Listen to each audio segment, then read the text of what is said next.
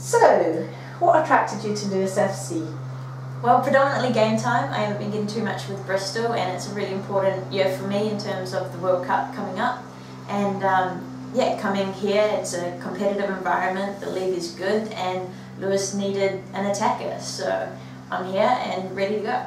What's the Equality Initiative pull factor? It was a huge pull factor. I remember when it first came out, and I shared it all over social media because I was so behind it. So I definitely had the club in mind from early on, and to be here now, it's it's awesome. What do you hope to achieve playing at Lewes? Yeah, I want to I want to help the team and contribute as much as I can. Hopefully, that comes in terms of goals, scoring them, setting them up, and helping the team win as many games as possible towards the end of the season. Well, you've obviously had an impressive career. What's your most memorable football match? Um, it actually came recently with the New Zealand team where I got my full debut and I managed to score a goal too, which is good. What are your biggest career highlights then? Um, winning the championship in Italy with Juventus was a huge moment. Yeah. Describe that. Oh, I can't. There's no words to describe something like that. It was a long time. It was my first professional contract, and it was a long way from home and a hard season. But to come out on top as a champion of Italy, it's indescribable.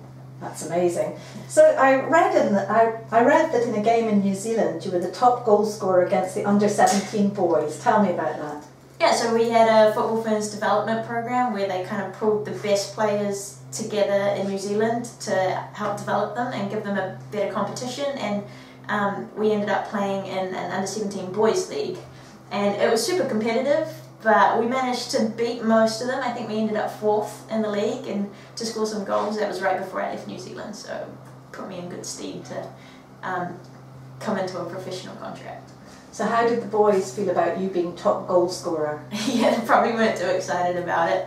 I think a lot of them probably thought we would be quite an easy beat. You know, they're all they're big, they're physical, they're fast, but yeah, we, we got smarts. So no, it was good. It was competitive. That's probably about enough. That's for you.